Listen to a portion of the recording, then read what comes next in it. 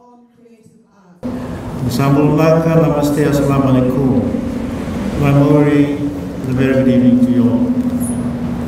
I'm indeed honored and delighted to be here to officiate the opening of the Christmas Vakaviti Art Exhibition, a Yellow Ribbon Project 2019.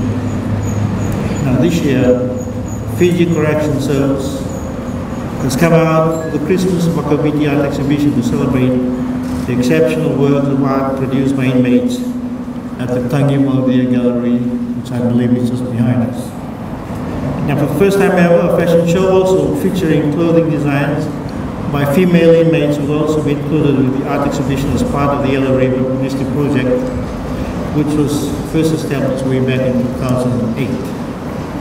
Now, ladies and gentlemen, I have been reliably informed that Fiji is the second country to the state of Israel this year in organizing an art exhibition and fashion show which features and displays works produced by the women inmates of our correction uh, uh, centers.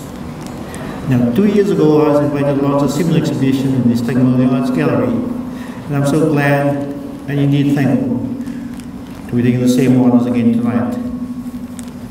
Now, ladies and gentlemen, as most of the staff here know, the art gallery, which is the first of its kind for the Fiji Correction Service in the history of our country, was launched in 2008 under the government's Yellow Rehabilitation Program.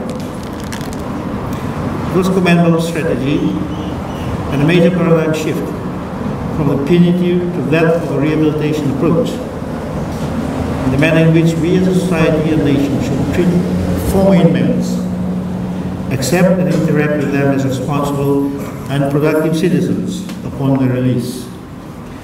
At the time of their gallery was an initiative mobilized and implemented by the former commissioner of the Correction Service, the retired General Iowane Naivalurua, way back in October 2008, in his efforts to recognize, develop, and expose the talents and artistic potential of inmates within a correctional institution.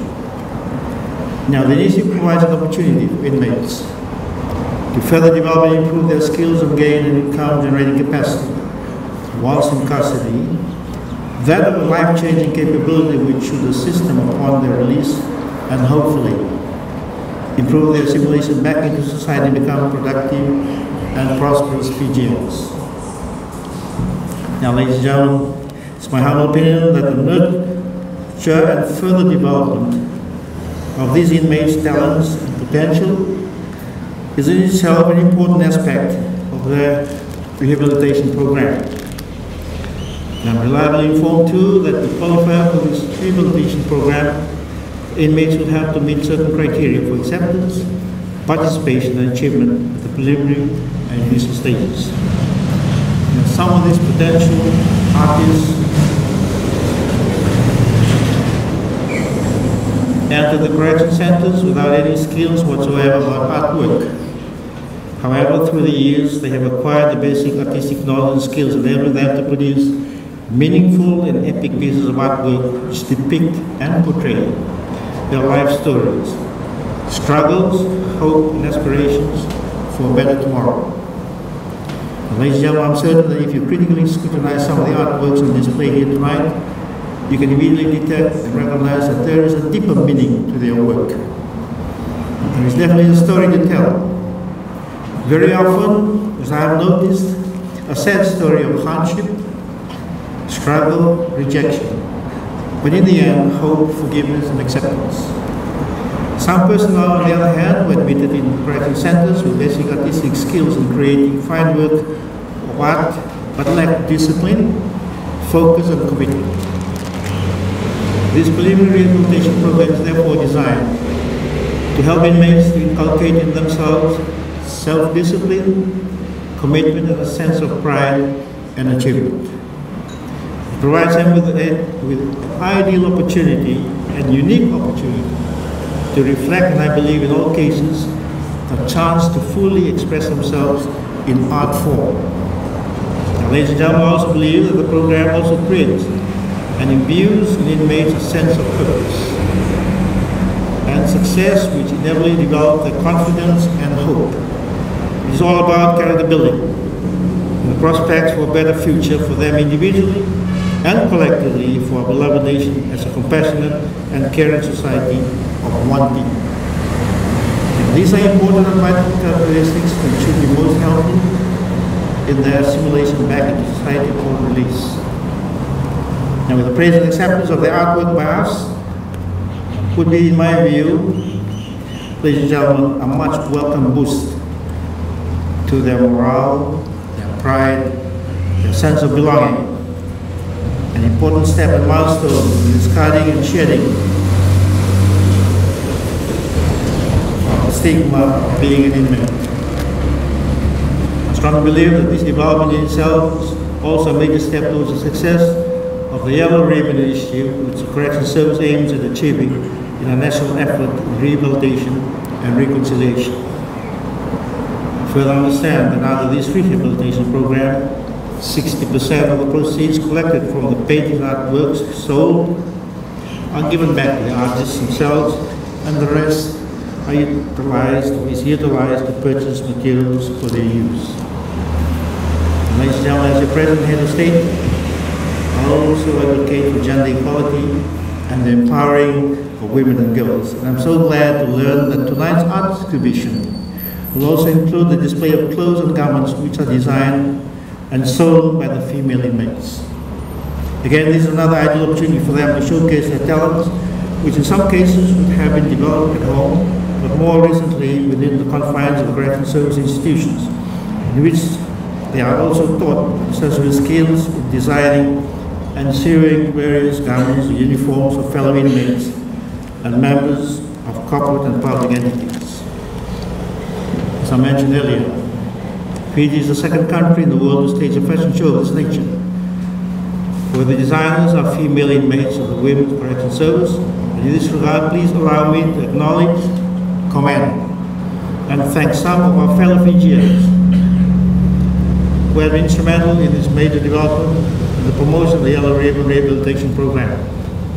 Now, ladies and gentlemen, these are kind-hearted, hard-working, very caring individuals would kindly offer their invaluable time and expertise to assist the female members of our correction service to develop their talent and skills in designing and the production of fashionable garments which could provide them with an alternative source of income upon being released from these centers. Now, contend that when the topic and issue of fashion is discussed within Fiji's social circles, the name of Miss Ellen Whippy Knight automatically comes to mind because she can be considered as a pioneer of the fashion industry in Fiji and is the founder and now the managing director of Fiji Fashion Week in the present day and age. She is someone who had persevered in promoting the fashion industry by creating an enabling platform for our local designers to improve their skills and learn more about showcasing the very creative Fijian brand designs, thus fulfilling their personal aspirations and dreams. And ladies and gentlemen, also present here tonight, this exhibition is Ms. Amanda Hammond, the director of Upskill Fiji, who has been most helpfully involved in training some of these talented female inmates in design work and sewing. Ms. Ella Miss Felicia Hazelman Tuilama, a name that is synonymous with corporate marketing, sponsorship, and the communications industry in Fiji. She's another quiet achiever in her work behind the scenes in organizing finance events in the lives of these talented inmates who hopefully will become much reformed and productive citizens of our beloved Fiji when they are finally released from the confines of the correctional service facilities. Now to Miss Ellen White, Whippy Knight, Ms. Amanda and Ms. Felicia Hazelman Tulam and other hard-working people and caring personnel behind the scenes, a very big Minawaleo, thank you. Now, ladies and gentlemen, last but not least, please allow me to pay a special tribute to our very own guardian angel